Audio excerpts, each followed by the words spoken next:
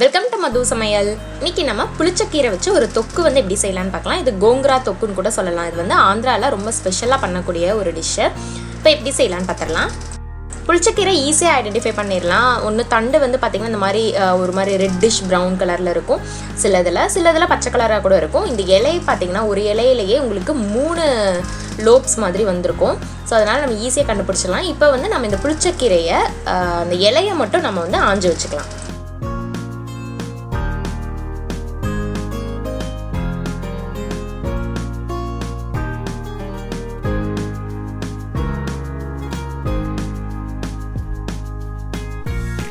புளிச்சக்கீரையில் நிறைய சக்திகள் இருக்குது விட்டமின்ஸ் மினரல்ஸ்னு சொல்லிட்டு.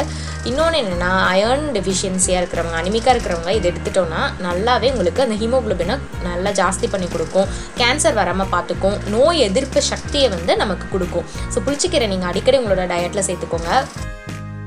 ஒரு டேபிள் ஸ்பூன் அளவுக்கு சீரகமும் தனியா விதையும் எடுத்துக்கணும். ஒரு கால் டீஸ்பூன் அளவுக்கு வெந்தயம்.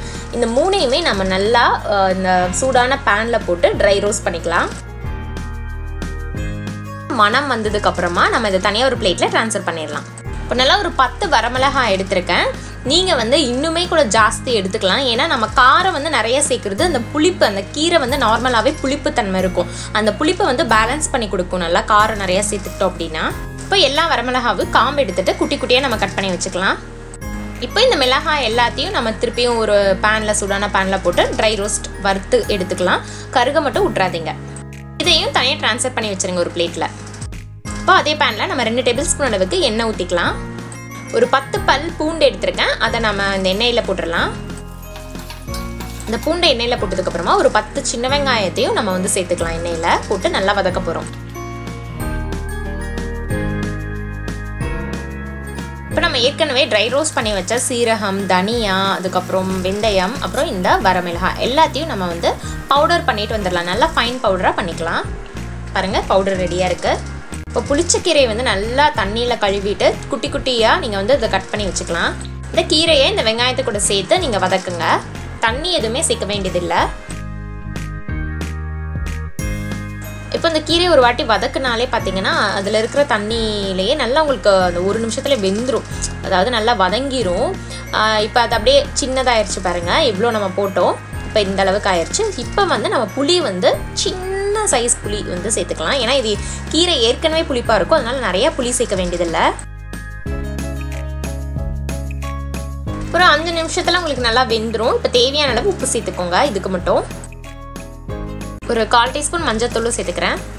இப்போது பார்த்தீங்கன்னா அஞ்சு நிமிஷம் தான் அந்த கீரை குக் பண்ணுறதுக்கான டைமு அந்த அஞ்சு நிமிஷத்தில் நீங்கள் ஃபுல்லாக நல்லா அந்த மாதிரி வெந்ததுக்கப்புறமா நீங்கள் என்ன பண்ணலாம்னா ஸ்டவ் ஆஃப் பண்ணிவிட்டு இது நல்லா அப்படியே ஆற விட்டுருங்க. நல்லா ஆறுனதுக்கு அப்புறமா இந்த கீரையை நம்ம ஏற்கனவே அந்த மசாலா ஒரு பவுடர் மாதிரி ரெடி பண்ணி வச்சுருக்கோம்ல அந்த பவுடர் கூட சேர்த்து இதை வந்து நீங்கள் ஒரு வாட்டி மிக்சியில் ஓட்டிக்கோங்க. இப்போ பாருங்கள் அரைச்சாச்சு. ஒரு ஒரு ஓட்டு ஓட்டினாலே போதும் உங்களுக்கு. இப்போ நாலு டேபிள் ஸ்பூன் அளவுக்கு நல்லெண்ணெய் வந்து நான் ஊற்றிக்கிறேன்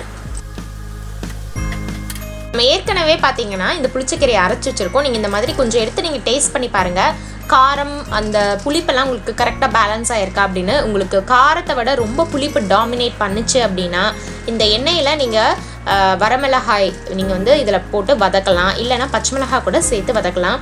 எனக்கு வந்து இன்றைக்கி கரெக்டாக இருக்குது புளிப்பு அதுக்கப்புறம் காரம் எல்லாமே பேலன்ஸ்டாக இருக்குது அதனால் நான் வரமிளகாய் சேர்க்கலாம் ஒருவேளை உங்களுக்கு காரம் வேணும்னு விருப்பப்பட்டீங்கன்னா இந்த எண்ணெயில் நீங்கள் ஃபஸ்ட்டு வரமிளகாயோ இல்லை பச்சை மிளகாயோ தேவையான அளவு காரம் வந்து சேர்த்துக்கோங்க.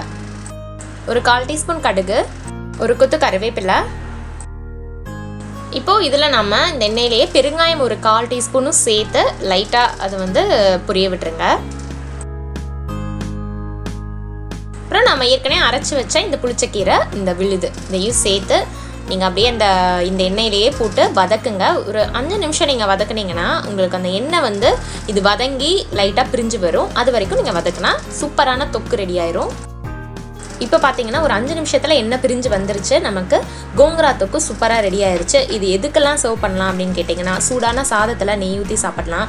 அந்த புளிப்புக்கும் காரத்துக்கும் பார்த்தீங்கன்னா அவ்வளோ டேஸ்ட்டாக இருக்கும். இது வந்து இட்லி தோசைக்கு கூட நீங்கள் தொக்கு மாதிரி தொட்டு சாப்பிட்டுக்கலாம். கண்டிப்பாக இந்த கோங்கரா புளிச்சக்கீரை தொக்கு வந்து ட்ரை பண்ணி பார்த்துட்டு எனக்கு கமெண்ட் பண்ணுங்கள் சேனலை மறக்காமல் சப்ஸ்கிரைப் பண்ணி வச்சுக்கோங்க. தேங்க்யூ